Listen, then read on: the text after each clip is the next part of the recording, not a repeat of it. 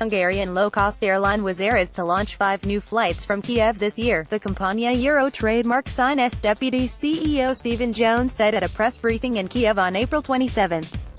Wizz Air will fly to Lisbon and Tallinn three times a week starting from June 1. The airline will then launch daily flights to Frankfurt and Berlin SCHA Nefeld on July 1, and to Vienna on October.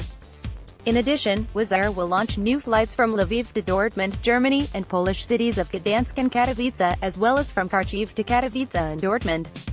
In total, Wizz Air flies from Ukraine to 33 destinations in 11 countries, making it the largest low-cost airline working in Ukraine. The company plans to add a third Airbus 321 to its Kiev fleet, boosting its total investment in Ukraine to over $300 million. Appointed as a deputy CEO of Wizz Air six months ago, New Zealand native Jones was in Ukraine for the first time. He said Ukraine is one of the most important markets for Wizz Air. He coded a Euro trademark signed to say, however, whether the airline would reopen its Ukrainian subsidiary, which had closed in April 2015 due to the political instability, hryvnia devaluation, and economic crisis in the wake of the 2014 Euromaidan revolution and the start of Russia Euro trademark sign S war in Ukraine in the Donbass. A Euro Icane a Euro trademark sign T tell you when I'd a Euro trademark sign S going to happen, a Euro Jones said. A Euro our plan is to grow our fleet to 300 aircraft by 2028. To deploy those aircraft we will need to open up new markets. A Euro The new flights and routes are part of Air Euro trademark sign S preparations for the arrival in Ukraine of a major competitor, the Irish low-cost giant Ryanair, which has confirmed that it will start flying in October from Kiev and Lviv to 15 European cities. Eight of the Ryanair flights are on Wizz Air routes. But the Hungarian airline says it has confidence in its business model, which has allowed the company last year to grow by 24% and carry 30 million passengers. The Euro OEWE keep our costs low, and that allows us to keep prices low, which makes air travel more affordable and stimulates people to travel more, a Euro Jones said. A Euro OEIT is a competitive industry. We believe that the lowest cost will prevail, and we think IDA Euro trademark sign SA winning business model.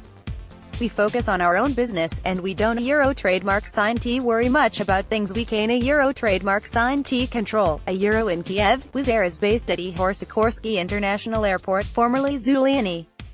So far, the two have been satisfied with their partnership. Valery Polishchuk, the deputy director of the airport, said Wizz Air was its main partner, operates 35% of all flights. Last year Sikorsky Airport saw 2 million passengers, and it hopes to have at least 300,000 passengers more this year. A Euro with visa-free regime with the European regime was a huge boost, a Euro Polishchuk told the Kiev Post.